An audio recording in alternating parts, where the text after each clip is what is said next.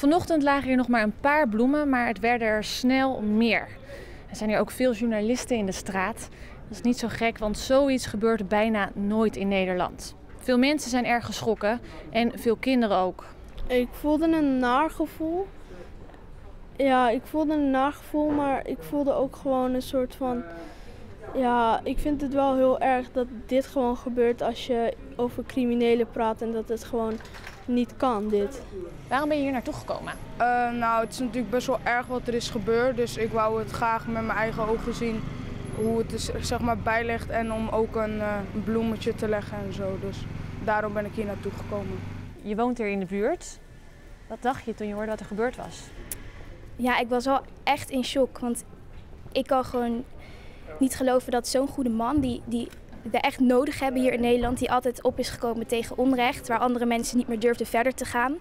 Juist omdat ze bang zijn dat zoiets hen gebeurt. En dat hij dan op deze manier eigenlijk toch nog zo de deksel op zijn neus krijgt, terwijl hij dat niet verdient, dat vind ik gewoon heel oneerlijk. Dus ja, het is gewoon echt heel verdrietig nieuws.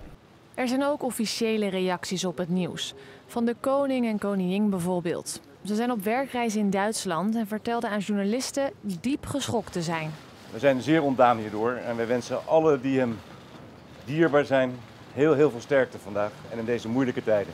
Gisteravond zei de burgemeester van Amsterdam dit over Peter R. de Vries. Peter R. de Vries is voor ons allemaal een nationale held.